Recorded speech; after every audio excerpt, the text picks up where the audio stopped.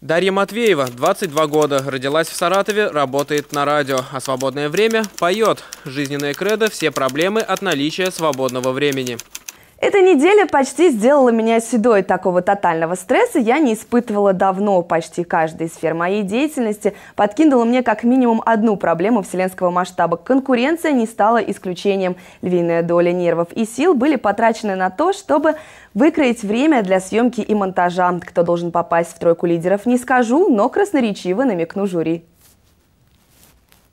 Узнаете, кто стал лучшим участником проекта «Конкуренция» на этой неделе. Смотрите по пятницам в 19.00 информационную программу «Новости 24 Саратов». Конкуренция не стала исключением.